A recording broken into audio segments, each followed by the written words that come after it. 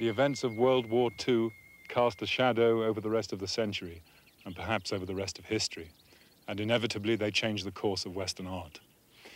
In Europe, the unbelievable scale of the Nazi genocide against the Jews left Europeans with the task not only of restoring their broken cities, but of repairing their shattered culture.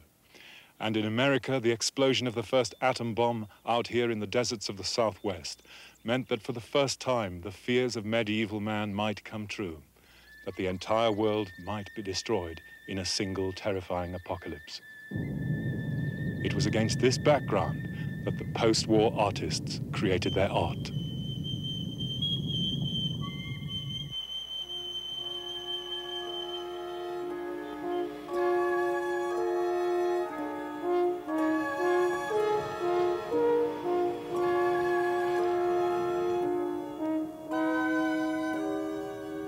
While Europeans couldn't forget their past, in America, artists turned their backs on what they saw as the public and political dimension of art.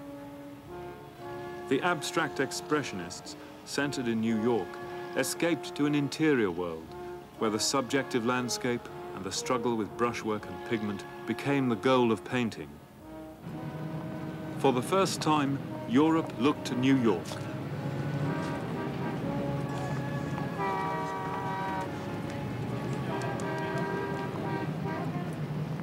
abstract expressionism, abstract art, is part of Western tradition. It evolves out of it, it's part of it, remains part of it. It's not Oriental, it's not, uh, it's not a new tradition. Clement Greenberg, critic and promoter of the New York School, became their spokesman and a friend of the leading abstract expressionist, Jackson Pollock.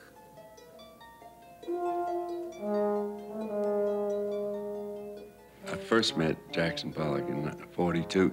Came down the sidewalk and there was Lee Krasner, whom I'd known of old. And she was with a very respectable looking gentleman.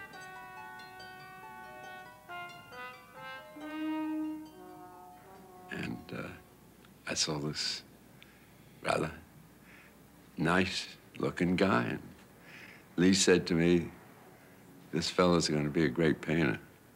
I said, well, okay. What finally hit me in Pollock's art was the portable mural he did for the apartment house in which Peggy Guggenheim lived.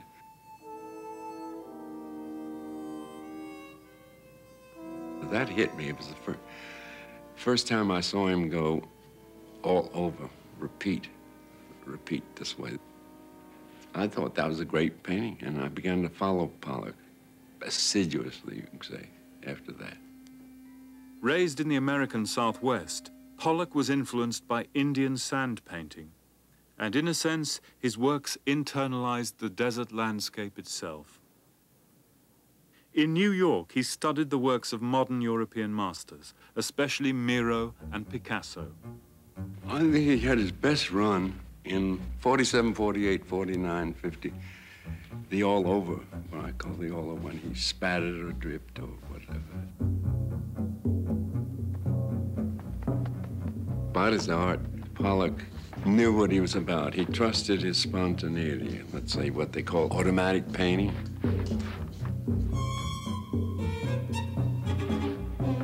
But he was in control. He'd stop from time to time to see what he'd done. And then when a picture was finished, he'd go back and edit now and then.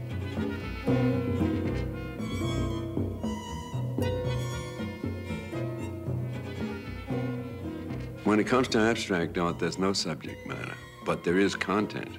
And the two have to be distinguished, subject matter and content.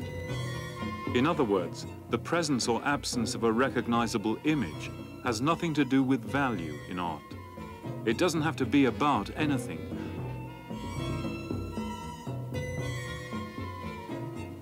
I gave it the title, Lavender Mist.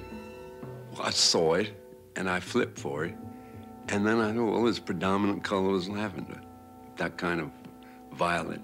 And it was sort of a little misty, and so I suggested that to Jackson. He said, sure.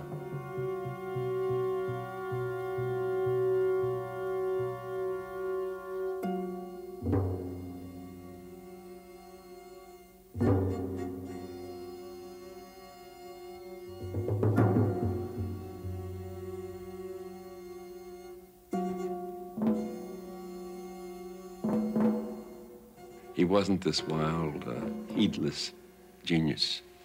No, he wasn't that. He looked. He looked hard, and he was very sophisticated about painting.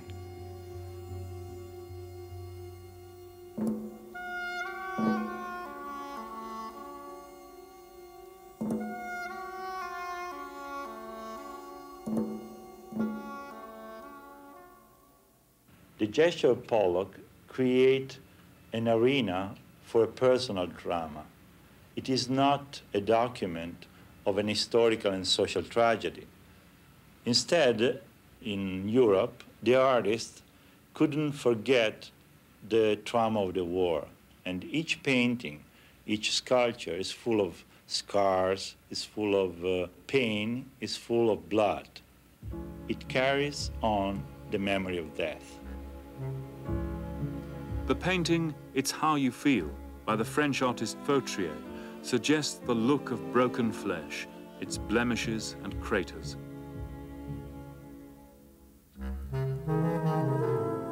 The Italian artist Fontana literally attacked the clay, ripping its surface open.